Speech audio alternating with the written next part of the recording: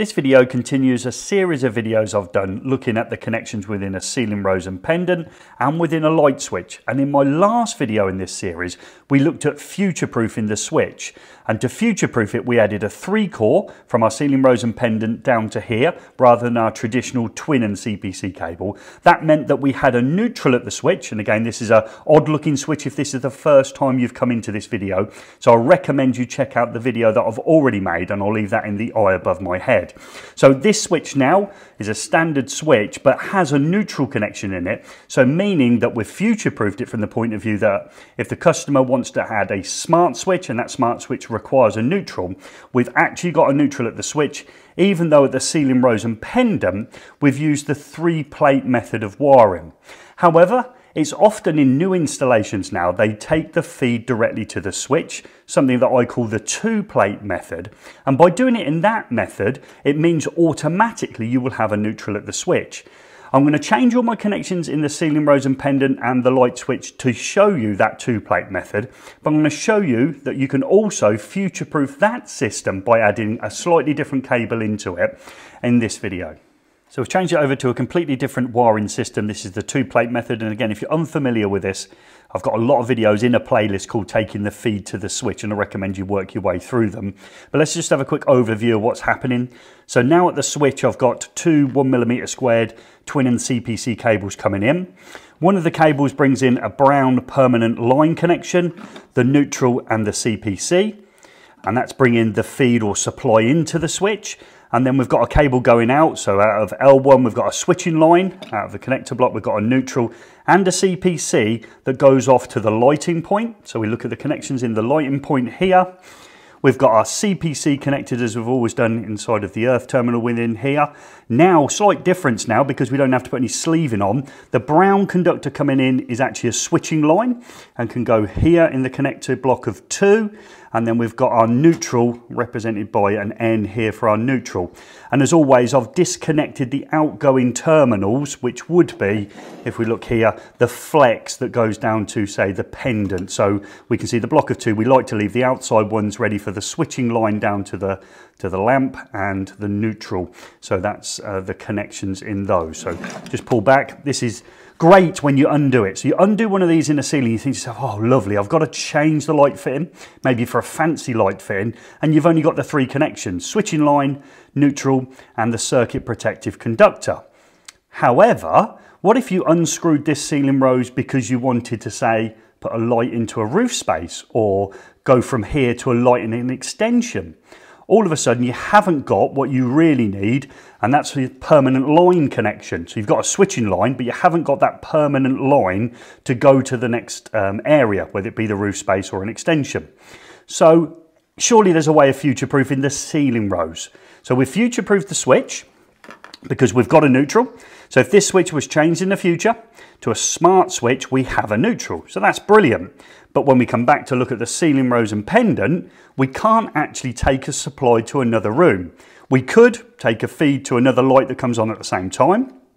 And we've looked at that in videos as well. If we come off here with our switching line neutral and CPC to another light in the same area, they would come on together. But we certainly couldn't take a feed to another room and obviously install a new part of a lighting circuit. So how can we overcome it? It's simple. Hopefully you've realized from our previous video what you could do. This cable here that goes between the light and the switch is obviously under floors, chased into walls, etc. So it's quite an effort to pull that one cable in. But wouldn't it be more beneficial if that cable was a three core in CPC from the switch to the lighting point. So if we bring a three core in, we would have that spare core that would become our permanent line connection. Then when we got to this lighting point and wanted to extend the circuit, we would have the permanent line, neutral and a CPC that would require us to carry the system onto another area. So what I'm going to do now is I'm going to take out the twin and CPC cable here from this ceiling rose and pendant and I'm going to replace it with a three core and then we'll look at the connections both in the ceiling rose and pendant and into the light switch itself to see how we're going to connect that three core and CPC to make sure we future proof this time the lighting point by having a permanent line at it so we can extend the circuit. So during the first fix stage, rather than pulling in a twin and CPC cable from the light switch to the lighting point, so chasing walls, lifting floorboards, as we said before, all that effort, let's not do that. Let's just pull in a three core and CPC cable, same effort, same walls to chase, same floorboards to lift, but it will give us the option of having that additional conductor at this lighting point Previously, we were missing the permanent line connection. We only had the switching line, neutral and CPC. So if we look at the connections now that we've got to make, we've got to decide which cable is going to be for which of those line, switching line and neutral. So let's have a, have a think about it from previous videos. Let's start with the neutral. We said in previous videos, the temptation probably is to go for the black because black pre-2004 was the colour of neutral, but we're trying to deneutralise black. So the industry said we're not going to use that as best practice. We're going to use one of the other colours. Well, I'd like to think that we're uh, not going to be using the brown one as our neutral, and it obviously leaves the grey conductor left over. So we're going to use our grey as our neutral connection. We're going to use the black as our switching line connection and we need to identify it appropriately as we will the grey which will become our neutral. And then we've got our permanent line connection that we didn't have before that we can insert into our loop. Therefore, when anyone unscrews this and wants to extend the circuit on, they will have that connection.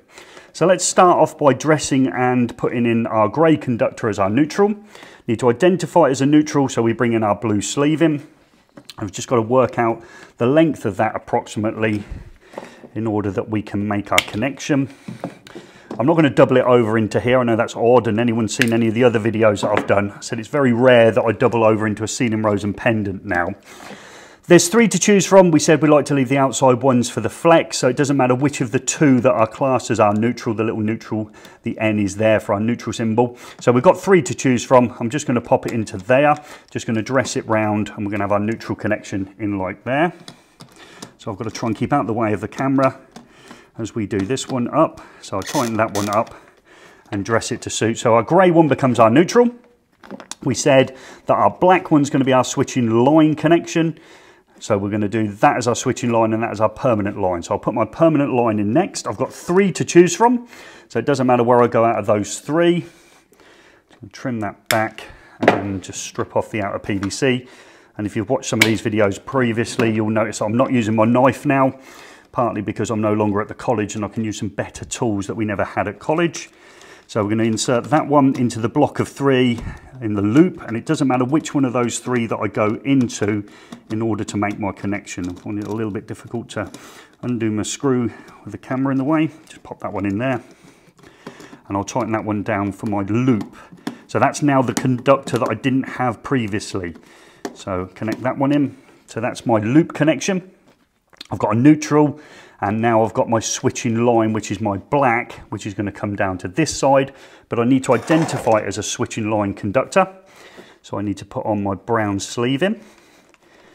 And that becomes that one. I just need to strip it back. I need to try and make that connection as well.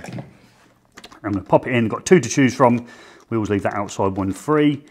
Into there for my connection. Hopefully I can tighten that one up. Okay, so we've got our connections in. So we've got our switching line of our three core is our black. Our permanent line is our brown and goes in loop. And our grey, identified with blue sleeving, is our neutral. It's just our CPC now to connect. Remember, this doesn't require a CPC because it's fully insulated. However, in the future, somebody could come along and change this for a metallic light fitting that requires a CPC and therefore the CPC will be used then because we know the metallic light fitting would be an exposed conductive part. So pop that round there and I'm just going to dress that into position. Maybe that's a little bit long, I'll just trim a little bit off. And it doesn't matter which one of the two I go into in order to secure my CPC. So hopefully you can see now that that just by just putting a three core in and not doing the standard twin arrangement, so we've got our three core and CPC in position. We have gained our permanent connection to line in our loop. So if we come into the ceiling rose, we undo it and we want a loft light, we can just pick up our line, neutral and CPC and go off and wire either the two plate or three plate method in that area.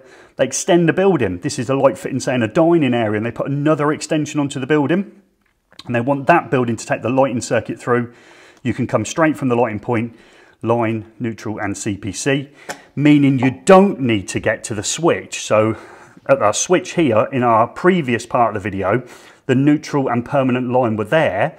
That might mean you've got to chase down a wall to get to that point rather than the easier point, which was the light fitting. Let's make our connections in here. So we've now got this three core to replace our twin and CPC. So we've got to make our connections. Well, let's start off with the CPC. They just go together in the back of the box again, fully insulated, so no exposed conductive parts. So we can pop our CPCs into the earth terminal back there. So they're tightened into place. So they're my CPCs in there. So I've got my three core cable. We know from the other end now what we've worked out everything's going to be. We said that our grey conductor is going to be identified as our neutral. So we bring our blue sleeve in, and we're going to put those together in our Wago 221 connector. So pop those into there to make our connections. So that's our neutral connections. And then we've got our black one, which is our switching line connection. So we put our brown sleeving on there and that goes the other side of the switch into L1. We'll connect that one up. We've got a cable now we've got to find a home for. So this is the additional one. This is the one we never had last time. This is the extra conductor in the three core. We put this one in the other end into our loop terminal because it's our permanent line connection. Sometimes on site they're calling it a permanent live. So that's a permanent line connection. So where is that? We know the connector block here for the Wago 221 is our neutrals. We know our CPCs are here. We know our black is our switching line. So that means our permanent line connection is here in common and the two browns will need to go together in there. So I need to bring this new conductor that wasn't in the system before. The extra core becomes our permanent line and it will join this one into the common.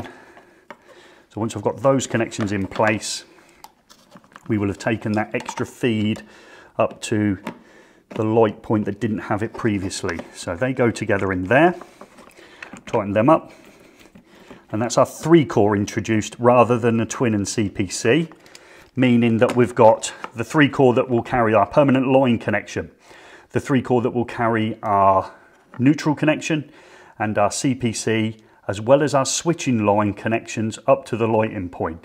Still can have a smart switch here because I've still got my neutral at this point. So in the future, this can be changed for a smart switch. So all my connections there, we're very comfortable with. We've used a three core in CPC rather than a twin in CPC, but not to aid us here because we already had our neutral down here.